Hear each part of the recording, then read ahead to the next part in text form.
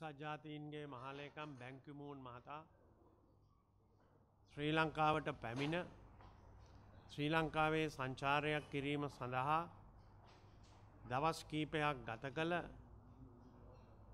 ගමනින් පසු බැංකිමූන් මහතා විසින් ශ්‍රී ලංකාවේදී කරන ලද ප්‍රකාශයක් සම්බන්ධව ඉතා බරපතල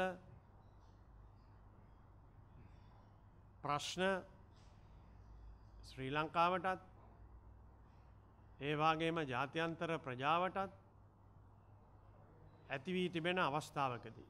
එට හේතුව බැංකිමෝන් මහතාගේ සංචාරයේදී ඔහුගේ දේශනයකෙද කොළඹදී ඔහු තෝරා ගත්තා දේශනයේ තිබෙන ඔහුට ඔහු විසින්ම ඔහු සමග සා ඔහුට සකසා දෙන ලද ලිකිත දේශනයෙන් පිට පැන විනාඩි කිහිපයක් බරපතලතම මානවයිතිවාසිකම් ප්‍රශ්නයක් පිළිබඳ ප්‍රකාශයක් කරන්නට. එදී ඔවු අවුරුදු ගණනාවකට පෙර රුවන්ඩාවේ සිදුවුණු මිනිස් සංහාරයක් පිළිබඳවත් ඒ වගේම යුගොස්ලාවියාවේ ශ්‍රබනිකාහි පීටි සිදුවුණු එවැනි ඝාතනයන් සම්බන්ධව සඳහන් කළා. ඒ සඳහනින් පසු ඔවු ශ්‍රී ලංකාවත් සඳහන් කළා. එක බැංකූන් මහතාගේ මේ ප්‍රකාශය බරපතල ලෙසෙස ශ්‍රී ලංකාවේ නිදහසට ස්වාධීනත්වයට ඒ වගේම ශ්‍රී ලංකාවේ රණවිරුවන් හා එක්සජාතීන්ගේ සංවිධාන ඉදිරියේ ශ්‍රී ලංකාව ඉදිරිපත් කළ කරුණු වලට හත් පසින් පටහැනි ප්‍රකාශයක් බවට පරිවර්තනය වීමට බැංකිමූන් මැති මහත මැතිතුමා කටයුතු කළා. ශ්‍රී ලංකා රජය නිහඬව ගොළුවී හිටිය මා පාවිච්චි කරන වචන ගොළුවී හිටිය. තමන්ගේ රට තමන්ගේ රට ගැන තමන්ගේ රටේ රණවිරුවන් ජීවිත පූජා කිරීම ගැන සමන්ගේ රටේ සිදුවුණු යම් සටනකදී ඇතිවුණු සංඛ්‍යාත්මක විනාශයන් ගැන නොදන්න ආණ්ඩුවක් හැටියට ගොලිවී මේකට ඉඩදී මේකේ වලංගු භාවයට පත්වෙනවා මහලේකම්තුමාගේ ප්‍රකාශය එසේ නොවනනම්. අපි ඉතා පැහැදිලිව සඳහන් කරන්නට ඕනේ රුවන්ඩාවේ තත්ත්වයට අපේ ශ්‍රී ලංකාව කිසි ලෙසකින් සමාන කරන්නට බැහැ. ඒවාගේම යුගොස්ලාවියාවේ සැබනිස්කාහි සිදුවුණු දේට සමාන කරන්නට බැරි බව කරුණු සහගතව අපේ විදේ සැමතිතුමාගේ කාලේ මානව හිමිකම් කොමිසියේ ඉදිරියේ ශ්‍රී ලංකාව පැහැදිලිව කරුණු ඉදිරිපත් කර තිබෙනවා.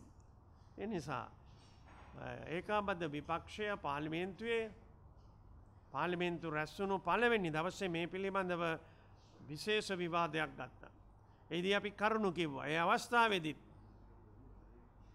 රජය වෙනුවෙන් කතා කළ මහින්දරල් සමරසිංහ ඇමැතිතුමත් ඒවාගේම නියෝජමාස්ත හර්ෂා සිල්ල මහතාත් ප්‍රකාශ කළ කරේ මේ මෙහි බරපතලකමක් නොමැති බවයි. අපි දැන්වෙන්නකොට දන්නවා තවත් රටවල් රාසියක් ශ්‍රී ලංකාව ගැන කියපු කතාව පමණක් නොව එවැනි අර්ථ නිරූපණයක් කිරීමට එක්සාජාතීන්ගේ මහලේකම්වරයාට තිබෙන හැකියාවේ වැරදිතාවය පිළිබඳව කරුණු ඉදිරිපත් කිරීම නිසා බැංකිමෝන් මහතාගේ කාර්යාලයට සිද වුණා. යම් කිසි ප්‍රකාශයක් නිකුත් කරන්න පළමුවරට ඒ නිකුත් කරනු කරන්නට සිදුවුණේ අපි ඉතා මෝනෑකමින් කියනවා. ඒකාබද්ධ විපක්ෂය අපේ රටේ ආරක්ෂාවට ස්වෛරීත්වයට ජාතික නිදහසට තර්ජනයක් වෙන කුමන ආකාරයේ ප්‍රකාශයක් කුමන බලවතුන් කරත් යළිත් ප්‍රකාශ කරන එකම මැදිහත්වීම අප විසින් සිදු කල්ලා තිබෙනවා.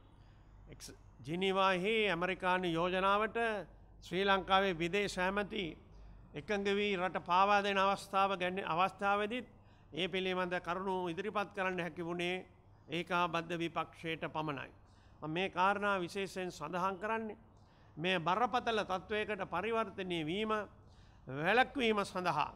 ශ්‍රී ලංකා රජය ඉතා පැහැදිලි ප්‍රකාශයක් දැන් එක්ස ජාතින්ගේ මා මණ්ඩලේ රැස් වෙන නිසා ඉදිරි සතයේ අපේ රාජනායකයන් එතන්ට සහභාගි වීමට මත්තෙන් ශ්‍රී ලංකා රජය ඉතා පැහැදිලි ප්‍රකාශයක් මේ පිළිබඳ කළ යුතුයි ශ්‍රී ලංකාවේ එල්ල කර ඇති මේ කිලිටි චෝදනාව පිළිබඳ ප්‍රතික්ෂේප කිරීමට ආත්ම ශක්තියක් අපේ රජයට තිබී යුතුයි කියන කාරණාව ඒකාබද්ධ විපක්ෂය වෙනුවෙන් අපි සඳහන් කරනවා මෙකොද මෙහි ගැඹුරුතාවය පිළිබඳ අපිට පසු අවස්ථාවකදී සාකච්ඡා කරන්න පුළුවන් වෙනවා. දෙවනි කාරණය FCID නීතිය මුල සිටම වලංගු නැති රටේ තිබෙන අපරාධ නීතිය එම නැත්තන් රටේ තිබෙන සිවිල් නීති එම නැත්තම් පාර්ලිමේන්තුව සම්මත කර ඇති නීති පද්ධතියන්ගෙන් තොරව ඇති කරන ලද අසාධාරණ අසම්මත නීතියක් බව ඒකාබද්ධ විපක්ෂය දිගටම පාර්ලිමේන්තුවේ ප්‍රශ්න කල්ල තිබෙනවා.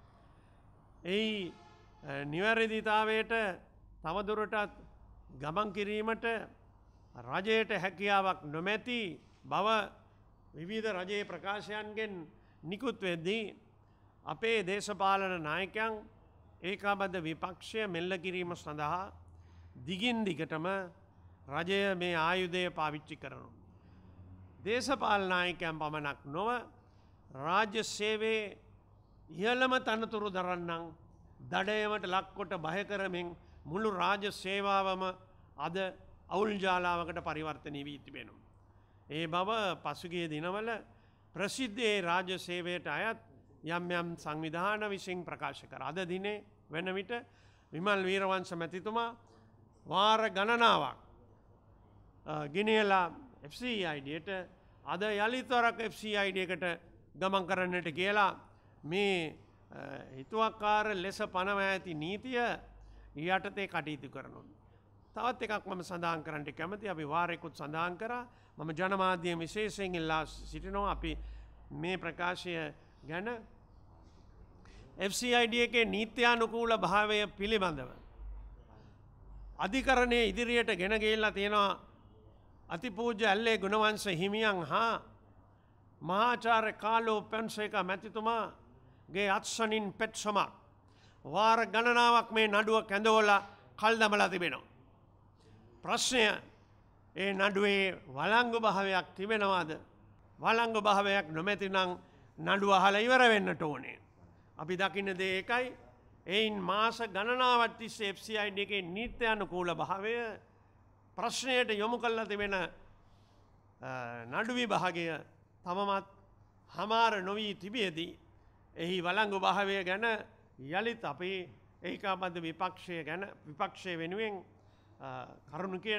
කරුණුකයන්ට සුද කැමති ඒවාගේම අදදින අපේ පක්ෂනායකයෙක් වන විමල් වීරවන්ස මැතිතුමා එක පලවෙනි මරණෙමේ දැවාර ගණනාවක් ඇඳවාගන්න ඉල්ල තියෙනවා.